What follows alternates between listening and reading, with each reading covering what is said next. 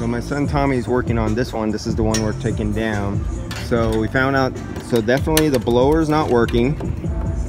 And the connector comes off here. The brown one's supposed to go to the capacitor. And this doesn't have your regular capacitor. It has a film cap. The black square down there that looks like a relay. The compressor capacitor is uh, electrolytic is up here.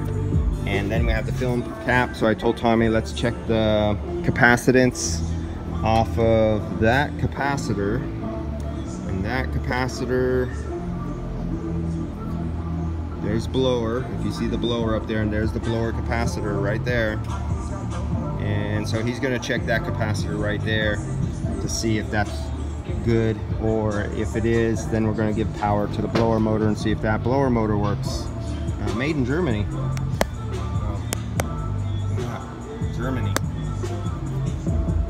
All right so we'll see what we find